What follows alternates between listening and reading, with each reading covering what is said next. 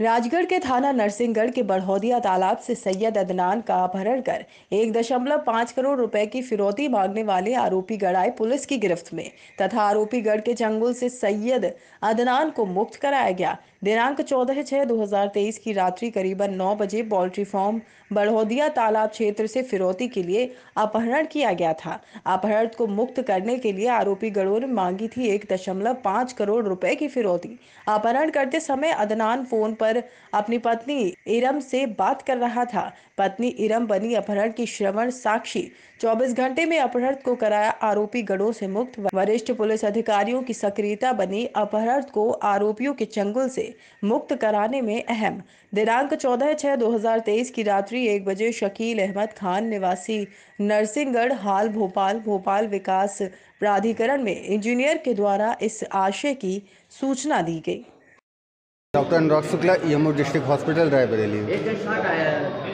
ये एक मिर्ज़ा सहसा बेग नाम के युवक है, जिनकी उम्र तकरीबन 50 वर्ष है। पुलिस द्वारा लेके आए गए बताया जा रहा है कि गन शॉट के दौरान उनको चोट लगी है।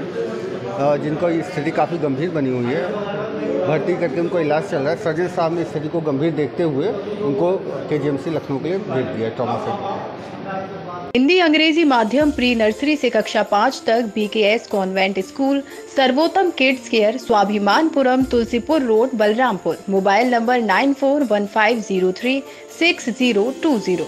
हमारी विशेषताएँ खेल की आधुनिक तकनीकों द्वारा कंप्यूटर पर ध्वनि व चित्र, ऑडियो, वीडियो, शैक्षणिक खेल के विभिन्न उपकरणों के माध्यम से सर्वोत्तम शिक्षण व्यवस्था। इन्वर्टर, जनरेटर एवं कैंट आरओ के पेयजल की व्यवस्था। प्रबंधक मृदुला सिंह, सह प्रबंधक अभिषेक प्रताप राष्ट्रहित लैपटॉप का जमाना है, बस्ते का वज़न घटाना है। साँसें हो रही कम, आओ पेड़ लगाएँ हम।